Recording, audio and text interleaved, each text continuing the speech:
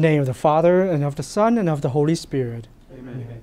The grace of our Lord Jesus Christ, and the love of God, and the communion of the Holy Spirit be with you all. And with your spirit. Welcome, my brother and sister, to this fifth Sunday of Easter. And we hear today Jesus give us a commandment to love one another as he has loved us. And so within our lives, we often fail to love one another. And so let us acknowledge our sins and prepare ourselves to enter into this most sacred mystery.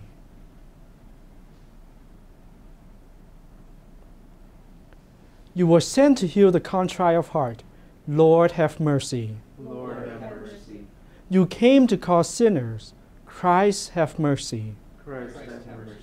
You are seated at the right hand of the Father to intercede for us. Lord, have mercy. Lord, have mercy. May Almighty God have mercy on us, forgive us our sins, and bring us to everlasting life. Amen. Glory to God in the highest, and on earth peace to people of good will.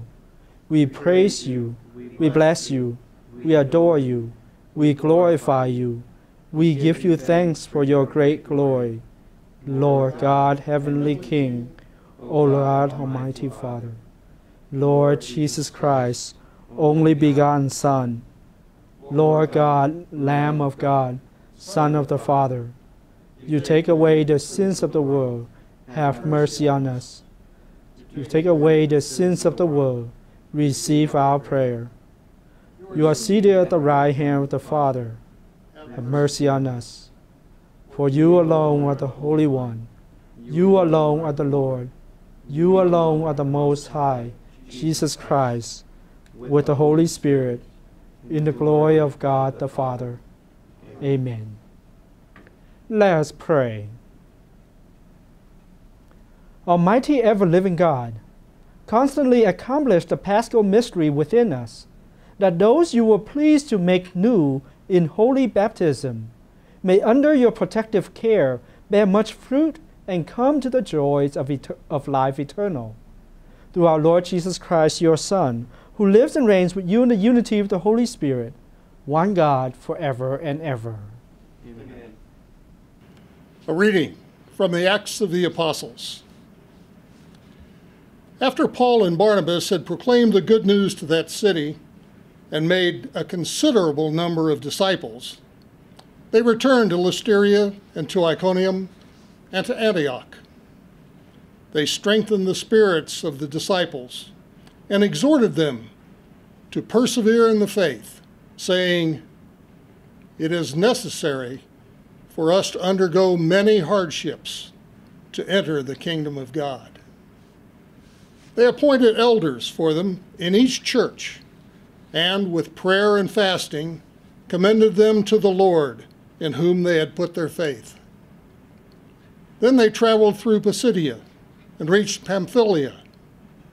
After proclaiming the word at Perga, they went down to Attalia. From there, they sailed to Antioch, where they had been committed to the grace of God for the work they had now accomplished. And when they arrived, they called a church together and reported what God had done with them and how he had opened the door of faith to the Gentiles.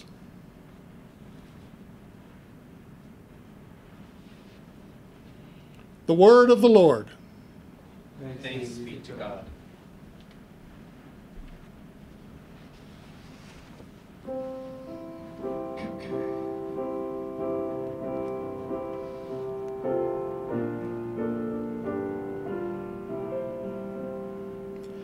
I will praise your name forever, my King and my God. Praise your name forever, my King and my God. The Lord is gracious and merciful, slow to anger and of great kindness. The Lord is good to all, and compassionate toward all his works. I will praise your name forever, my King and my God. Let all your works give you thanks, O Lord, and let your faithful ones bless you. Let them discourse of the glory of your kingdom and speak of your might. I will praise your name forever, my King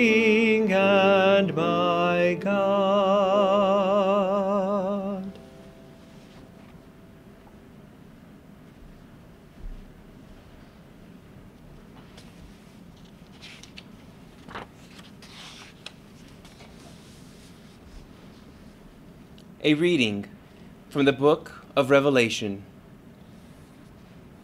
Then I, John, saw a new heaven and a new earth. The former heaven and the former earth had passed away, and the sea was no more. I also saw the holy city, a new Jerusalem, coming down out of heaven from God prepared as a bride adorned for her husband.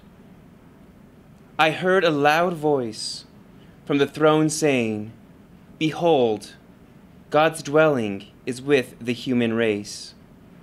He will dwell with them, and they will be his people, and God himself will always be with them as their God. He will wipe away every tear from their eyes and there shall be no more death, or mourning, wailing, or pain, for the old order has passed away. The one who sat on the throne said, Behold, I make all things new. The word of the Lord. Thanks be to God.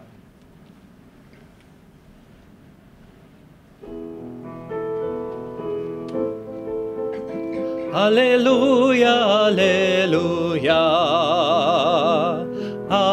Alleluia, Alleluia, Alleluia, Alleluia. I am the light of the world, says siguen tendrá la luz.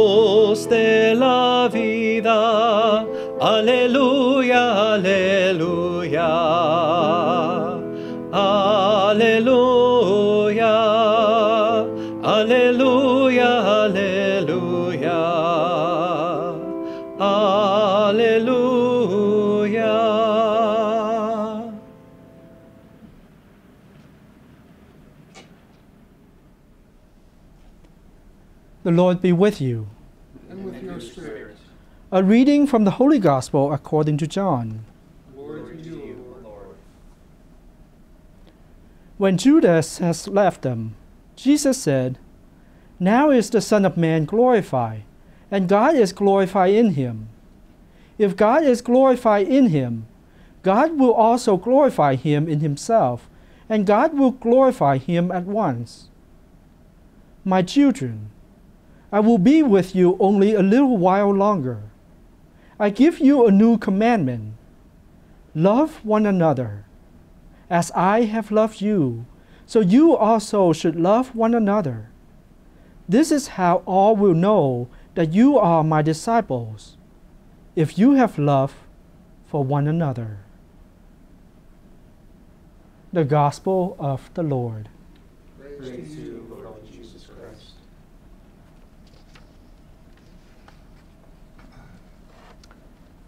My brothers and sisters. In our gospel reading this fifth Sunday, Jesus told his disciples, and he tells us today, As I have loved you, So you also should love one another. This is how all will know that you are my disciples. It is by love that we will be identified as true followers of Christ. If in Jewish tradition, the measurement of love towards your neighbor is how you love yourself, Jesus now gives us a new way of measuring love of neighbor. Love them as Jesus has loved us. That is to say, love them selflessly. Because Jesus loved no nose bound for us. He gave his all for us, and he gave his all by dying on the cross for each one of us. And when we say to lay down one's life, it doesn't mean only those heroic or extraordinary acts. The trouble is, we think only of these so that we often overlook the ordinary ones. It reminds me of a love letter a young man wrote to his girlfriend. And in it, he said, Dear Mary, I can climb the highest mountain. I can swim the seven seas. I can fight the most ferocious lion in the jungle to prove my undying love for you. And then he signed, Your ever loving Johnny, Johnny. And right below it, he said, I'll visit you on Sunday if it does not rain. And so we often think of dramatic moments. We often think of extraordinary act to prove one love. But we have to remember dramatic moments do not come often in life. Far more frequent are the day to day demands of love, like being kind when you are feeling irritable, or sharing one's time for one who is in need, or when you are enjoying your favorite TV show to go out of your way for a charitable cause. There's a short article by an anonymous author entitled, What is Christianity? And in it, the author said, Christian love is like this. In the home, it is kindness. In business, it is honesty. In society, it is courtesy. And in work, it is fairness. Toward the unfortunate, it is compassion. Toward the weak, it is help. Toward the wicked, it is resistance. Toward the strong, it is trust. Toward the fortunate, it is congratulations. Toward the penitents, it is forgiveness. But toward God, it is reverence and love. So, my brother and sister, the real measure of spiritual growth is in the measure of how we approximate Christ's new commandment to love one another as I have loved you. So let us learn from His Word, listen to His Word, and love each other, not only through extraordinary circumstances, but in every day of our life. Amen. Now, together, let us stand and profess our faith.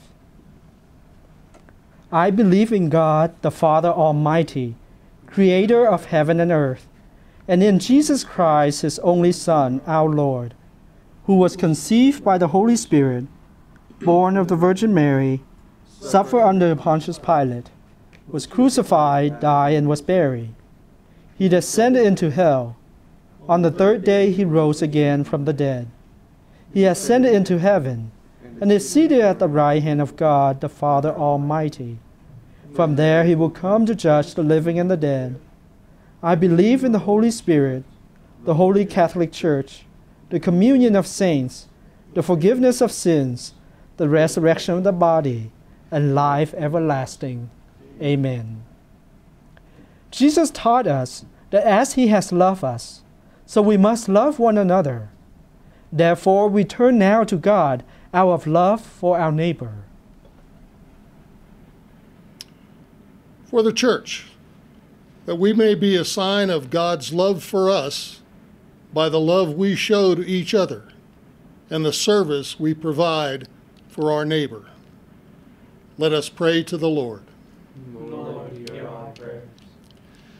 That barriers between peoples may be overcome, opening the doors of empathy and compassion to those of other cultures and backgrounds, for God's dwelling is with the whole human race. Let us pray to the Lord. Lord, hear our prayers. That missionaries around the world may be fruitful in their labors as they preach the good news to all God's people. Let us pray to the Lord. Lord, hear our prayers. For Christian families, the source of religious vocations, that they may be prompted to encourage young people to rejoice in doing God's will. We pray to the Lord. Lord, hear our prayers. For the members of our community that are in need of prayer and whose intentions are contained in this basket, let us pray to the Lord. Lord, hear our prayers. God of all, out of love for the human race, you sent your Son to sacrifice himself for us. Help us to love one another as you have loved us, and grant the prayers we made out of that love through Christ our risen Lord. Amen. Ay,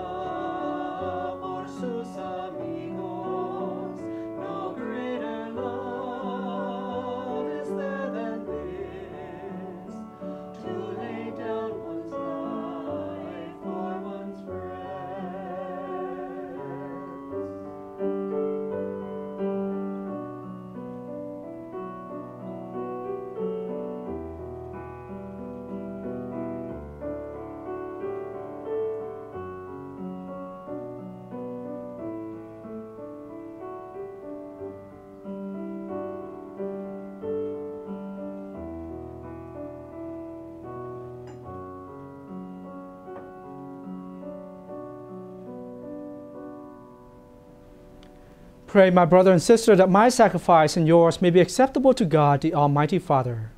Lord, accept the sacrifice of your hands for the grace and glory of his name, for our good and the good of all his holy church.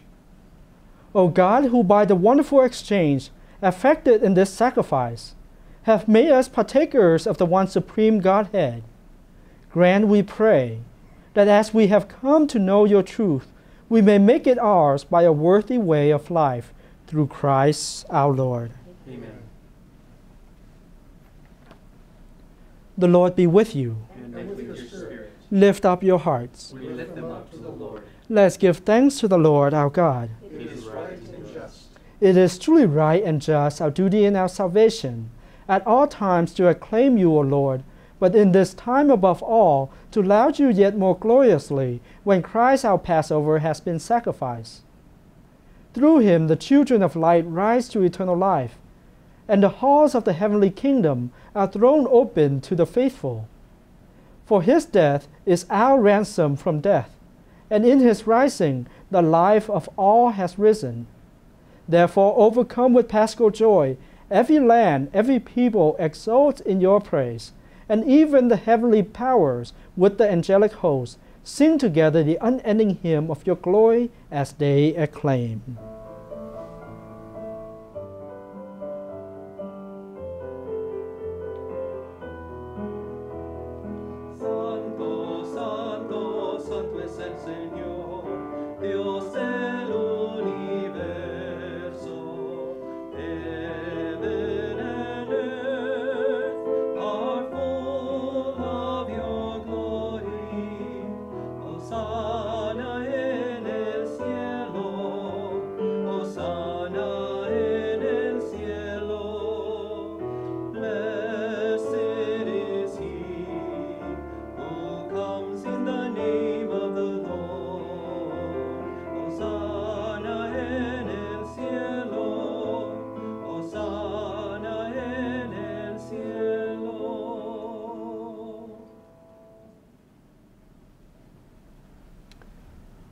You are indeed holy, O Lord, the fount of all holiness.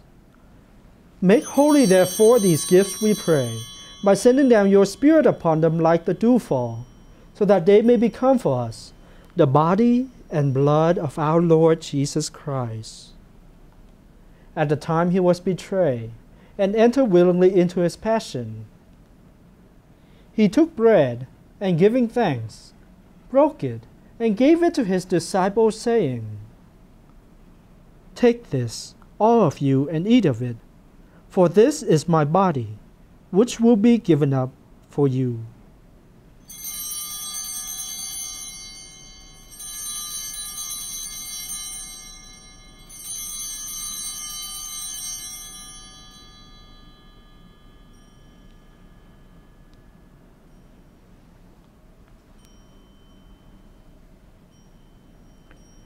In a similar way, when supper was ended, he took the chalice and once more giving thanks, he gave it to his disciples, saying, Take this, all of you, and drink from it, for this is a chalice of my blood, the blood of the new and eternal covenant, which will be poured out for you and for many for the forgiveness of sins. Do this in memory of me.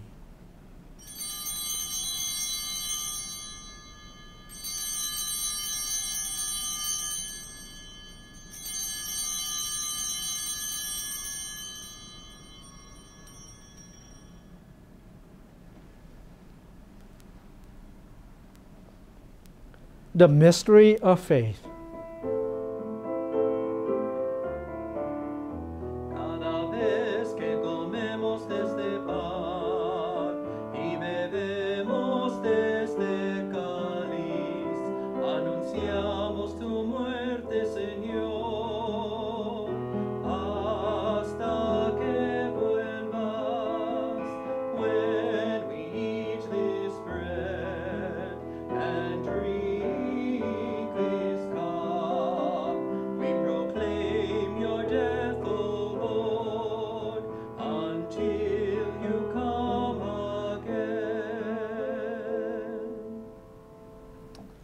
Therefore, as we celebrate the memorial of his death and resurrection, we offer you, Lord, the bread of life and the chalice of salvation, giving thanks that you have held us worthy to be in your presence and minister to you. Humbly we pray that partaking of the body and blood of Christ, we may be gathered into one by the Holy Spirit. Remember, Lord, your church, spread throughout the world, and bring her to the fullness of charity, together with Francis our Pope and John our Bishop and all the clergy. Remember also our brothers and sisters who have fallen asleep in the hope of the resurrection, and all who have died in your mercy. Welcome them into the light of your face. Have mercy on us all, we pray, that with the Blessed Virgin Mary, Mother of God, with Blessed Joseph, her spouse, with the blessed apostles and all the saints who have pleased you throughout the ages, we may merit to be co heirs to eternal life and may praise and glorify you through your Son, Jesus Christ.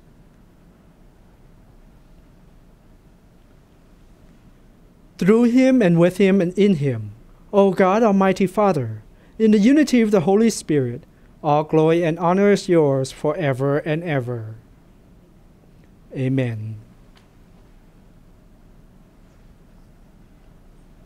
At the Savior command and formed by divine teaching, we dare to say, Our Father, who art in heaven, hallowed be thy name. Thy kingdom come, thy will be done, on earth as it is in heaven. Give us this day our daily bread, and forgive us our trespasses, as we forgive those who trespass against us. And lead us not into temptation, but deliver us from evil. Deliver us, Lord, we pray, from every evil.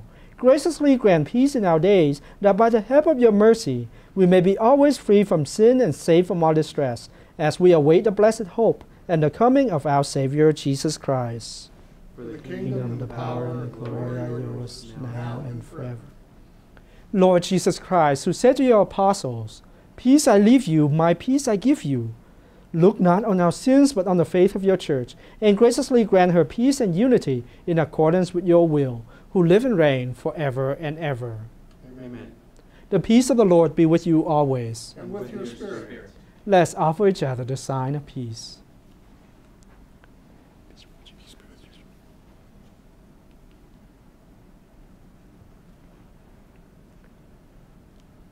Lamb of God, You take away the sins of the world. Have mercy on us. Lamb Lamb of God, you take away the sins of the world. Have mercy on us. Lamb of God, you take away the sins of the world. Grant grant us us peace. peace.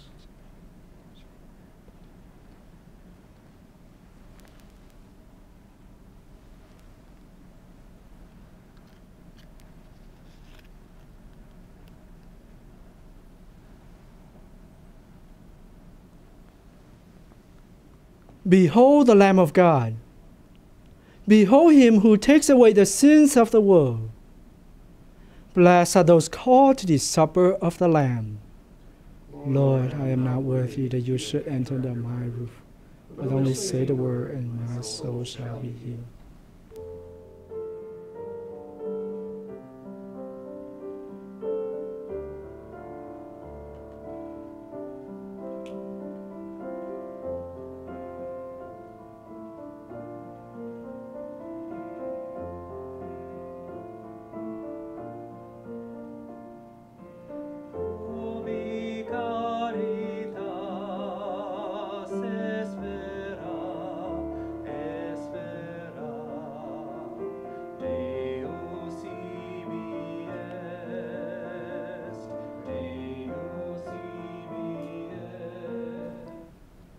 Let's pray.